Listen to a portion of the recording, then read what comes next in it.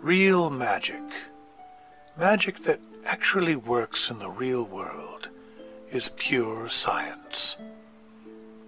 Only things that cause activity in the real physical world may be called physical magic.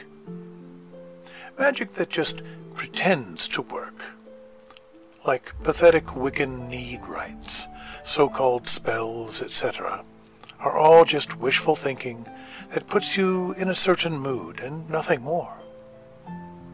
If, for example, you want a new job, and you do a theatrical Wiccan spell to help you acquire it, and of course upgrade your CV or resume, and send that out to recruiters with your objectives for the career you want, and you actually get the job you wanted, hmm, most so-called magic workers would say, oh, their spell worked, and they are a badass witch.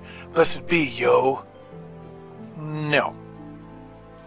All the spell did was put you in the right mood of confidence to interview well, along with the way your resume was presented, and including the efforts of your recruiters on your behalf. If none of those physical aspects had been prepared in advance, your little need rite would have done precisely nothing.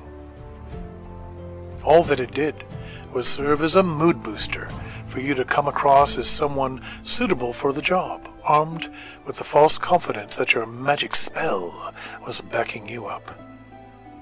The truth is, only those with a knowledge of science can do real physical magic.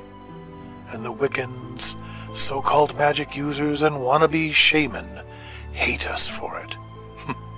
because they know that we are doing real magic, and they are mere peasants, appealing to gods created to explain away the weather and natural events that ultimately do not exist.